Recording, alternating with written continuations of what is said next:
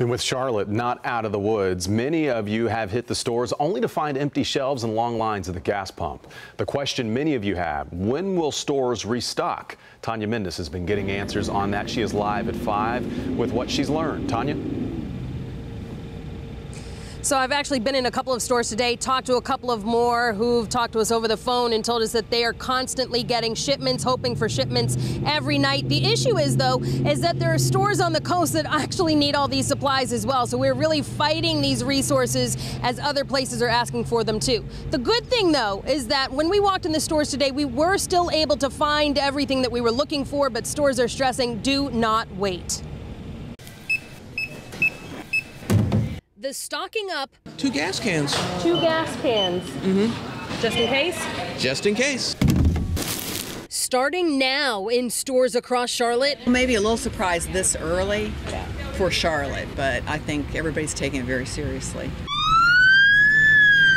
Hurricane Florence certainly looking like a serious storm as it marches straight toward the Carolinas.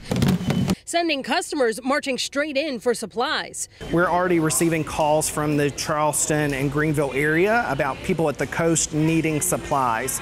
And when that happens, our supplies greatly deplete very quickly. Sure enough, we watched as the last generator was sold at the Lowe's in South End.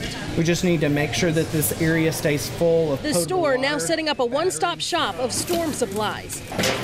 We're always in the mindset to prepare for the worst, but hope for the best. In grocery stores, water shelves are already drying up. Pretty empty. Yeah, the bread, the water, the toilet paper. At Costco, long lines for gas. The store placing limits on how many cases of water customers can buy.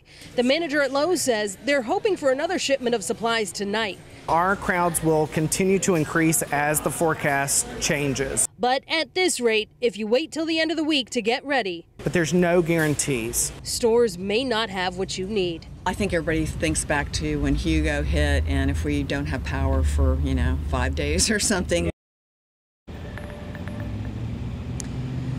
Yeah, nobody wants to see something like that happen. So we did ask today at Lowe's what the most popular item is right now. The one thing that they're probably not going to have, they said first aid kits is what everybody's going in looking for. Reporting live, I'm Tanya Mendis, NBC Charlotte. All right, I guess we know now. Thank you, Tanya.